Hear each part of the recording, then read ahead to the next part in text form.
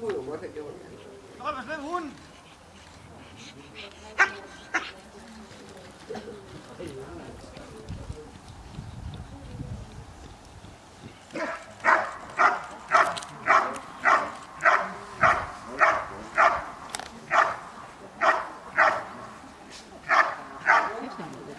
Er årsager til, at det bliver lavet om, at man skal stå stille.